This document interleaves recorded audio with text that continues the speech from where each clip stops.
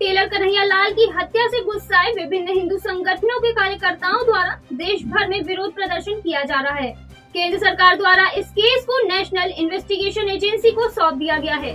सूत्रों की माने तो पुलिस द्वारा गिरफ़्तार किया गया कन्हैया लाल का एक हत्यारा, मोहम्मद रियाज अंसारी, पाकिस्तान के आतंकवादी संगठन से संपर्क में बताया जा रहा है और उसके फ़ोन में 10 पाकिस्तानी नंबर भी मिले हैं। बात करें अगर दूसरे हत्यारे गुलाम गौस की तो उसके बारे में पता चला है कि वह 2014 में कराची व नेपाल गया था। पुलिस इंक्वायरी के अनुसार कन्हैया लाल को मारने से पहले उन्होंने आईएसआईएस की काफ़ी वीडियोस देखी थी, तथा कई बार पाकिस्तान में कॉल भी लगाई थी। इस पूरे मामले में गहलोत सरकार का कहना है कि यह हत्या आतंकवाद को फैलाने के लिए की गई है। उत्तराखंड की खबरों से जुड़े रहने के लिए आप हमें सभी सोशल मीडिया प्लेटफॉर्म्स पर सब्सक्राइब लाइक और फॉलो कर सकते हैं। धन्यवाद।